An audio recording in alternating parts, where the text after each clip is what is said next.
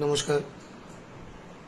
বাংলাদেশে যে সম্প্রতি ঘটে যাওয়া যে বিষয়, দুর্গোৎসবকে কেন্দ্র করে, এই বিষয়ে আপনার একটু প্রতিক্রিয়া জানতে চাই।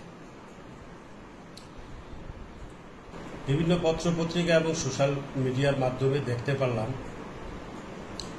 আমাদের প্রতিবেশী রাষ্ট্র বাংলাদেশ কুমিল্লায় একটি দুর্গাপূজার মণ্ডপে একটি বিশেষ ঘটনাকে কেন্দ্র করে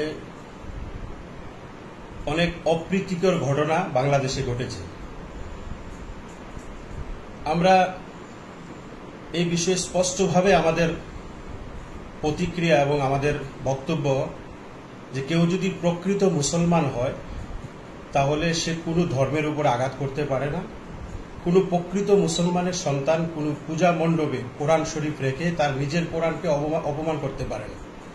এবং কেউ যদি প্রকৃত হিন্দু হয় সেও নিজে কোরআন তার দেবতার পায়ের নিচে রেখে তার এই উৎসবকে অপবিত্র করতে পারে না। পৃথিবীর প্রত্যেকটা ধর্ম মানুষকে মানবতা শিক্ষা দেয়। সনাতন ধর্ম ধর্ম যেরকম মানবতা শিক্ষা দেয়, ইসলাম ধর্ম মানবতা শিক্ষা দেয়। একটি ধর্মীয় এত বড় উৎসবকে কেন্দ্র করে বাংলাদেশে যে ঘটনাটা ঘটেছে, আমি মনে করি যারা এই ঘটনাটা ঘটিয়েছে, তারা শুধু, তারা তো ধার্মিক তো তাদের বলাই যায় না, বরং তারা মানুষের কাতারও নেই।